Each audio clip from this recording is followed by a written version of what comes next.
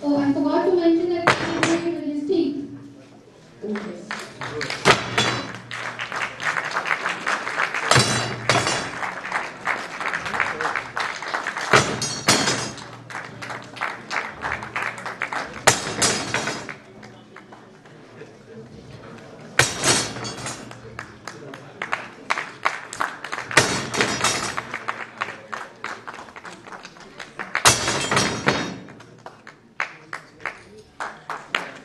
Self-reflection.